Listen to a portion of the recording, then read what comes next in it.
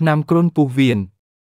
ថ្ងៃនេះខ្ញុំបានប្រាប់បងប្អូនពីថ្នាំសម្រាប់ព្យាបាលជំងឺគ្រុនពុះវៀនបានជានិងងាយរកបំផុត ថែមទាំងរកបានដោយខ្លួនឯង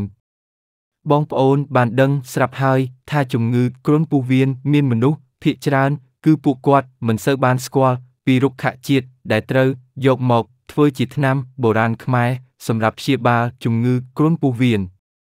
តែមុននឹងព្យាបាលគឺបងប្អូនត្រូវយល់ពីរោគសញ្ញាជាមុនសិនចំពោះរោគសញ្ញាជំងឺគ្រុនពោះវៀនមានរោគសញ្ញាច្រើននិងវិវត្តម្ដងបន្តិចម្ដងបន្តិចចាប់ពី1ទៅ3អាទិត្យនោះអ្នកជំងឺនឹងឆ្លងមេរោគហើយដំណាក់កាលវិវត្តទៅជាជំងឺគ្រុនពោះវៀនមានដូចជា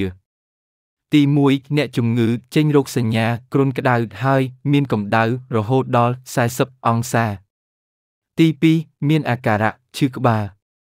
ទី3មានអាការៈខ្សោយកម្លាំងទី4មានអាការៈឈឺសាច់ដុំទី5មានអាការៈឆាប់បែកញើសទី6ចាប់ផ្ដើមកកស្ងួត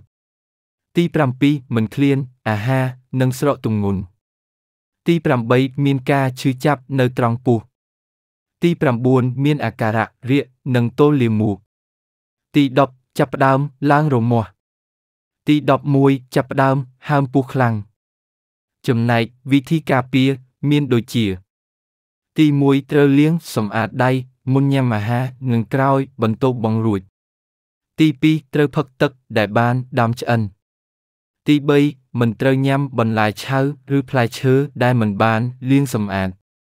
ទាំងនេះគឺជាវិធីចាំបាច់បំផុតក្នុងការការពារខ្លួនពីជំងឺគ្រុនចាញ់ រីឯរបៀបធ្វើគឺបងប្អូនត្រូវមានដើមកញ្ឆែតមួយក្តាប់ដៃហើយត្រូវលាងសម្អាតវាជាមុនសិនបន្ទាប់មកត្រូវយកដើមកញ្ឆែតមួយក្តាប់ដៃទៅដាំដោយដាក់ទឹកចំនួន1លីត្រដាំឲ្យពុះ30នាទីចាំលើកមកទុកឲ្យត្រជាក់ចាំផឹកមួយឆ្នាំងអាចដាំបានចំនួន2ដងចាំដាក់ថ្នាំថ្មី បញ្ជាក់គឺបងប្អូនផឹក7ទៅ10ថ្ងៃនោះបងប្អូននឹងជាហើយត្រឹមតែ រយៈពេល10ថ្ងៃតែប៉ុណ្ណោះ